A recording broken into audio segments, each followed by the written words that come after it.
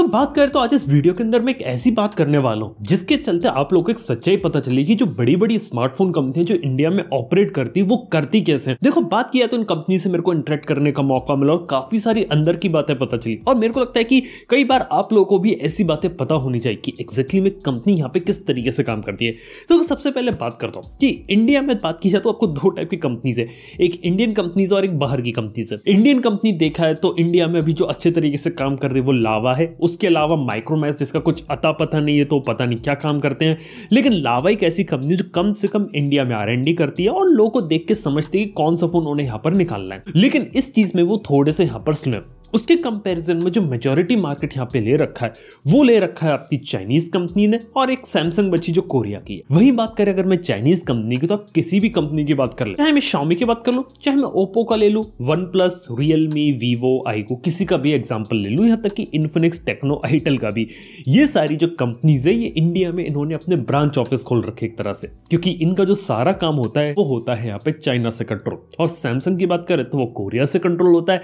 Apple की बात करें तो यूएसए से गूगल की बात करें तो वो भी यूएसए से। वेल well, बात यह तो बेसिकली इंडिया में ये जो कंपनीज़ अपने फोन्स बनाकर बेचती हैं इन फोन्स की जो स्पेसिफिकेशन डिसाइड होती है जो एग्जैक्टली में जो आर होती है वो सब बाहर से होती। है मतलब कोई भी चाइनीज़ कंपनी प्रॉपर इंडिया में अपना फ़ोन डिज़ाइन करती नहीं है और चाइना में बैठ के लोग ये डिसाइड करते हैं कि इंडियन ऑडियंस को किस टाइप का प्रोसेसर देना है कौन सा कैमरा देना है एट मेगा पिक्सल का अल्ट्रा वाइड देना है कि दो मेगा पिक्सल का मैक्रो देना है? यस ये चीज़ यहाँ पे डिसाइड होती है और ये लिटरली बहुत बड़ी चीज़ है। और काफ़ी सारे लोग को इस बारे में पता नहीं होता। और कई बार जो लोग रहते हैं ना, वो यहाँ पे कंपनी का जो ट्विटर हैंडल होता है इंडिया वाला, उस पर लिख देते उस पर बुराई कर देते हैं। लेकिन सच्चाई की बात यह है कि इंडिया में जो लोग बैठते हैं, उनके पास वो पावर है नहीं कि वो डिसीज़न यहाँ पे ले सके।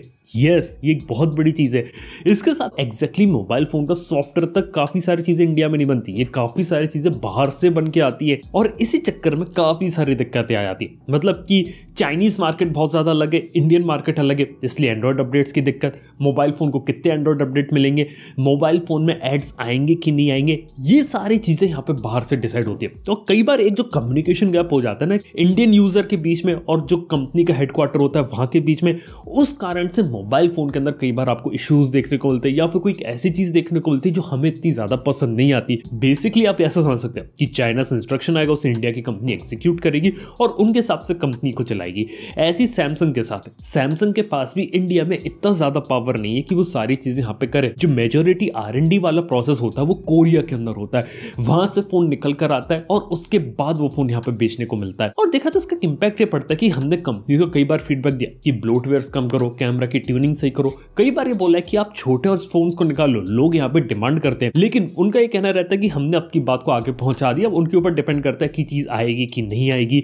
इसके अलावा हम बोलते हैं कैमरा में ऐसा होना चाहिए अच्छा इमेज सेंसर डालो ओ उसके अंदर इंप्लीमेंट करो। लेकिन ये आगे के ऊपर ही डिपेंड करती चीज़ें, क्योंकि पीछे से सारी चीज़ें डिसाइड होती है कि इंडिया के लोगों के लिए यहाँ पे कौन सा फ़ोन सुटेबल रहेगा और किस टाइप का फ़ोन यहाँ पे बनाना है। क्योंकि अभी भी देखा है तो इंडिया में भली मैन्युफैक्चरिंग शुरू हो गई, लेकिन जो आर वाला काम होता है कि इंडिया के लोग को किस टाइप का फ़ोन चाहिए, वो काम अभी यहाँ पर नहीं हो रहा। लेकिन इसके साथ ही देखा तो आखिर इंडिया में कौन सा काम होता है? देखो इंडिया में बात किया तो बेसिकली मार्केटिंग होती है। कि मान लो यार, एक कंपनी ने फ़ोन बना दिया, फिर वो इंडिया वाली यूनिट को भेजी यार, ये हमने फ़ोन बनाया, इसको हम इंडिया में किस तरीके से प्रेजेंट करें, इसका नाम क्या रखें, किस तरीके से ले जाए कि मार्केट में हिट हो जाए। और यहीं पे आप देख सकते हैं कि चाइना में कोई फ़ोन लॉन्च होता है रेडमी ब्रांडिंग के अंदर, वो इंडिया में आ जाता है आपका पोको के अंदर। मतलब आप समझ सकते हैं कि ऐसे कि शॉमी जो चाइना में बैठे, उन्होंने एक फ़ोन बनाया, फिर वो इंडियन टीम को बुला के पूछे कि ये फ़ोन हम किस ब्रांड के अंदर निकालें? शॉमी के अंदर रेडमी के अंदर या पोको के अंदर?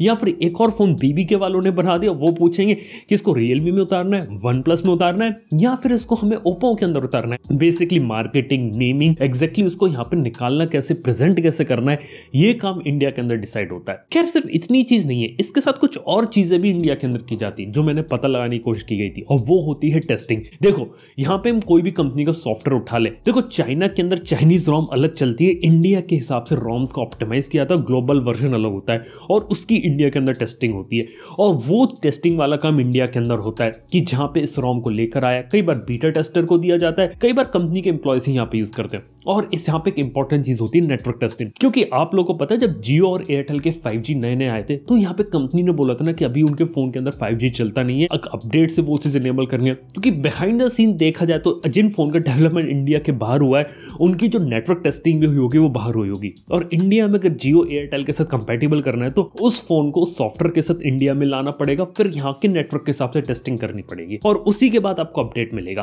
तो ये एक ऐसी चीज़ है कि टेस्टिंग वगैरह के अंदर यहाँ पे काम किया है, लेकिन मेरे हिसाब से टेस्टिंग और अच्छी होनी चाहिए ताकि लोगों को स्टेबल स्मूथ एक्सपीरियंस मिले बग्स देखने को ना मिले और कई बार सॉफ्टवेयर अपडेट से हार्डवेयर वाली जो दिक्कतें आ रही है ना, वो आपको देखने को ना मिले। ये एक बात रहेगी। और यही एक काम यहाँ पे सैमसंग भी यहाँ पे करती है कि वो अपने फ़ोन की काफ़ी सारी टेस्टिंग हैवीली इंडिया के अंदर करते हैं इंडियन कंडीशन के हिसाब से, कि यहाँ के नेटवर्क हर तरीके से ऑप्टिमाइज हो। भले ही वो कोई सा भी फ़ोन ग्लोबल लेवल पे ले जा रहे हैं, लेकिन वो करते हैं यहाँ पे। इसके साथ ही बात किया तो आरएनडी का कौन सा काम होता है? जैसे कि मैंने बताया ऑब्वियसली फाइव की टेस्टिंग वगैरह होती है, लेकिन ओप्पो जैसी कंपनी ने अपनी आरएनडी लैब वगैरह सेटअप करी है, और उसके अंदर वो क्लेम करते हैं कि फाइव को वो लोग टेस्ट करते हैं, जो कि काफ़ी एक अच्छी चीज़ है। लेकिन इसके साथ ही ये भी पता चला मेरे को कि आर के अंदर इंडिया के अंदर कैमरा वाले काम यहाँ पे किया जाता है। देखो चाइना के अंदर क्या किया जाता है कि अगर आपने कभी भी किसी फ़ोन की चाइनीज़ रोम डाली होगी तो उसके अंदर कैमरा की इमेज प्रोसेसिंग बहुत अलग होती है।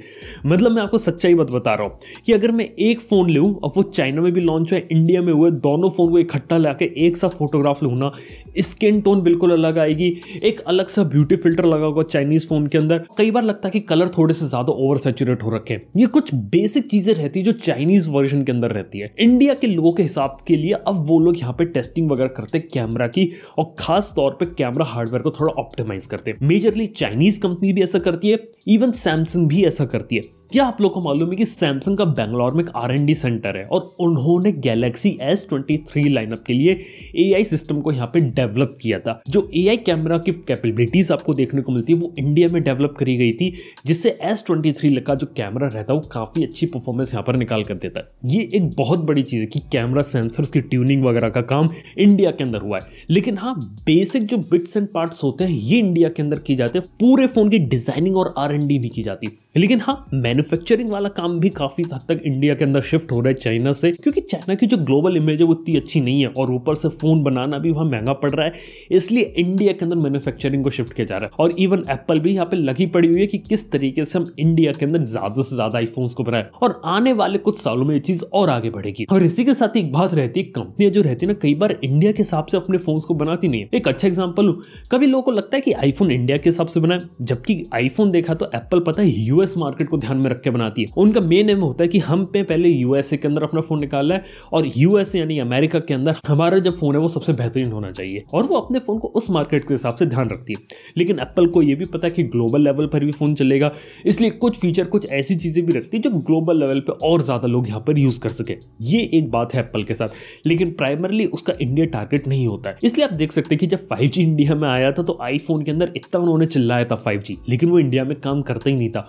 वो बाद में चल के उसके अंदर अपडेट आया था। ये सेम कहानी गूगल पिक्सल की गूगल पिक्सल तो टोटली यूएस ऑडियंस को ध्यान में रख के बनाया जाता है, क्योंकि ये बात मैंने पता लगी इंडिया की टीम के पास सिर्फ़ मार्केटिंग वगैरह कंट्रोल है रिसर्च एंड डेवलपमेंट जो सारा काम हो रहा है वो यूएसए से हो रहा है। इंडिया में इसका ज़्यादा कोई रोल नहीं है। थोड़ी बहुत टेस्टिंग वगैरह हो जाती है इंडिया में, इससे ज़्यादा यहाँ पे कोई चीज़ नहीं हो रही। यानी कि गूगल पिक्सल जो रहता है प्राइमरली जो डिवाइस वो यूएस मार्केट के लिए बनाया जा रहा है। और शायद इसीलिए अभी भी इंडिया में फाइव वाला अपडेट आने में इतना ज़्यादा टाइम लग रहा है और ऐसे ही यहाँ पे सैमसंग भी काम करती है। लेकिन हाँ सैमसंग को पता है कि उसे अपना फ़ोन ग्लोबली यहाँ पर ले जाना है, इसलिए वो ध्यान में रखता है कि हर मार्केट के हिसाब से उसका फ़ोन तैयार हो। क्योंकि सैमसंग दुनिया में सबसे ज़्यादा फ़ोन बेचती है। यूएस मार्केट भी प्रेजेंस है कोरिया में भी है इंडिया में भी है। और वो ये चाहे कि अगर वो अपना फ्लैगशिप एस ट्वेंटी अल्ट्रा बना रहे हैं तो हर जगह वो बेस्ट पॉसिबल फ़ोन हो। और इसलिए वो टेस्टिंग आर एन डी में यहाँ पे काम करते हैं और हर जगह के हिसाब से सही फ़ोन बनाते हैं। इवन ये भी पता चला था कि सैमसंग जैसी कंपनी यहाँ पे इनपुट्स वगैरह भी लेते और इंडिया के हिसाब से फ़ोन भी डिज़ाइन करते लेकिन वो भी सारा काम मेजरली यहाँ पे बाहर ही किया जाता है। लेकिन बात की जाए तो अभी भी हमें देखना है कि इंडिया में प्रॉपरली आर एन डी तरीके से फ़ोन कब बनेगा। क्योंकि मार्केट के अंदर मैंने गैप ऑब्ज़र्व किया है। और वो गैप पता है यहाँ पर क्या है?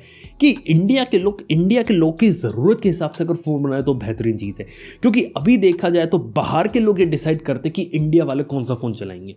ये चीज़ थोड़ी सी बदलनी चाहिए और अगर कोई इंडियन स्टार्टअप इंडियन कंपनी अगर लोगों की रिक्वायरमेंट को समझ के एक फ़ोन बनाए कि हाँ लोगों को क्या पसंद है, क्या चाहिए, अगर वो समझ के फ़ोन बनाए, क्योंकि अभी भी मार्केट के अंदर एक नई चीज़ क्रिएट की जा सकती है। बाय द वे आप लोग नीचे कमेंट में क्यों नहीं बताते कि आप लोग को इस टाइप की इन्फॉर्मेशन कैसी लगी? क्योंकि यहाँ पे मैंने जो चीज़ बताने की कोशिश करी, वो चीज़ थी बिहाइंड द सीन के पीछे यहाँ पे काम कैसे चलता है। उम्मीद करता हूँ कि वीडियो पसंद आएगा तो लाइक करो सब्सक्राइब करो, अगर अभी तक नहीं किया तो। थैंक यू आपको वीडियो देखने के लिए। मैं आपसे नेक्स्ट वन में। Good bye